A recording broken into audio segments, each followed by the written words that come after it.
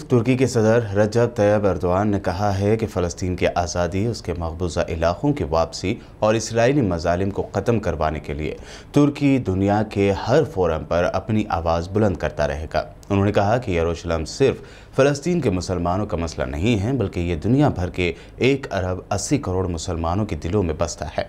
सदर तैयब अरदवान का यह पैगाम इस्तंबुल में league of parliamentarians for Al Quds की एक अफ्ताही तकरीब में पढ़कर सुनाया गया जो फ़लस्तीन के आवाम के साथ इजहार एकजहती के लिए मनद की गई थी।